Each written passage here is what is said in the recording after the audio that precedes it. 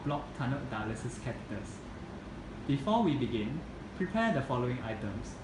A sterile dressing set, sterile gloves, hexodane solution, 10 ml syringe times 3, 1 3 ml syringe, 2 needles, 2 cap bungs, 1 valve of urokinase, 60,000 units per valve, 2 valves of normal saline, and 1 valve of concentrated heparin, 5,000 units per ml.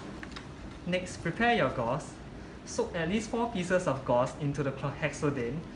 This will help during your sterilizing of the perm cath or tunnel dialysis catheter caps and clamps.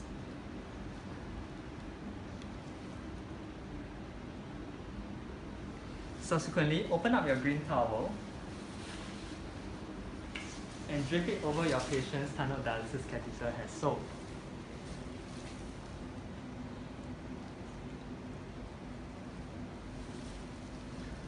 Proceed to take out one of the pot and clean both the cap and the clamp using your sterile gauze that is soaked in hexodane.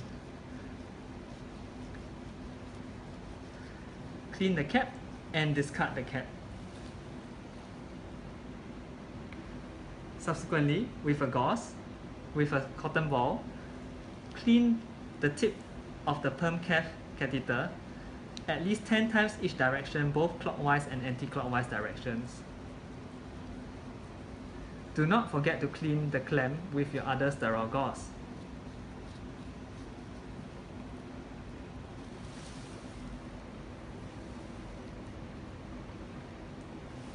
Repeat the procedure for your other pot.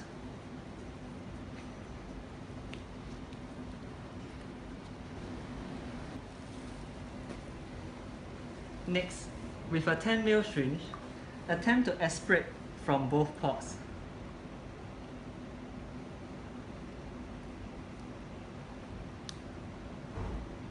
You should try to aspirate at least 2 ml of blood per pot. If unable to aspirate, test the other pot.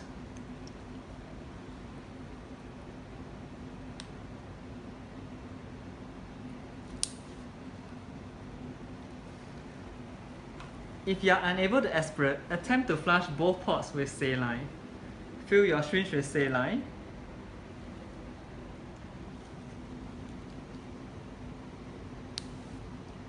And attempt to flush it with saline. If able to flush, you will subsequently move on to administering of urokinase. However, if you are unable to flush both pots, you have to arrange for an exchange of the tunnel dialysis catheter at the IR department. Next, we shall go on to reconstituting the urokinase. Using your valve of urokinase 60,000 units, inject normal saline into the valve to dissolve all the urokinase powder. The volume of saline to be used is the sum of the volume of the two pots. If each pot is 2 ml, you will dissolve the urokinase in 4 ml of normal saline. You will need the help of an assistant or friend as the valve is not sterile. Once all the urokinase has dissolved, withdraw all the urokinase, then administer the corresponding volume into each pot. Proceed to administer the urokinase of appropriate volume into each pot.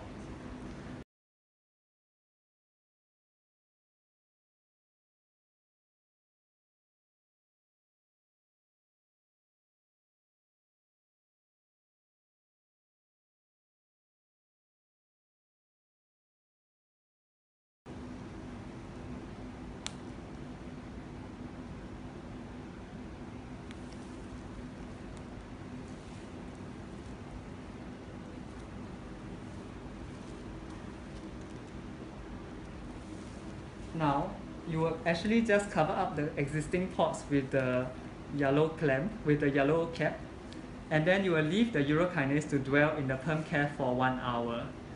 During this period, ensure that you cover up the perm cath with the, with the sterile green towel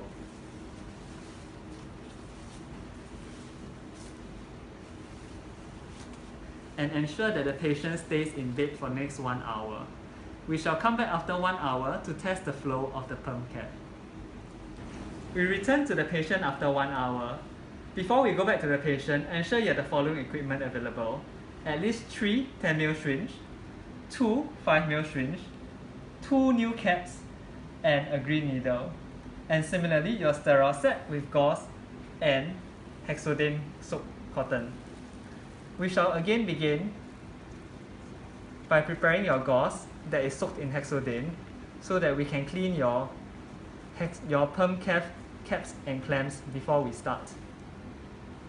Next, we go back to the patient. Open up the dressing set or the sterile cloth.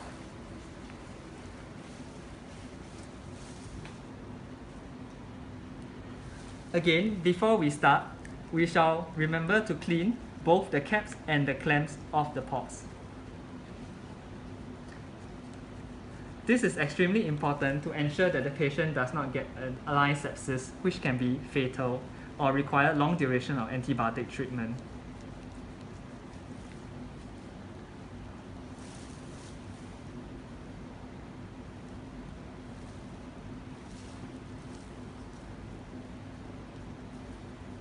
Similarly, clean the second pot.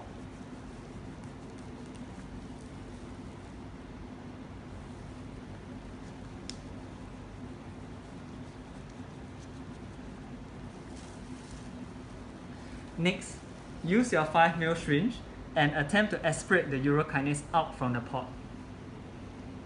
Aspirate at least 2 ml of blood to ensure that all the urokinase has been removed. discard the syringe. Using your second 5 ml syringe, attempt to do a similar thing and aspirate at least 2 ml of blood from the other pot. Do not return this blood to the patient. Now we shall go on to test the blood flow of each pot. Using a 10 ml syringe, attempt to aspirate and flush the blood at the same time Blood must be able to draw smoothly and fill the syringe within 2 to 3 seconds.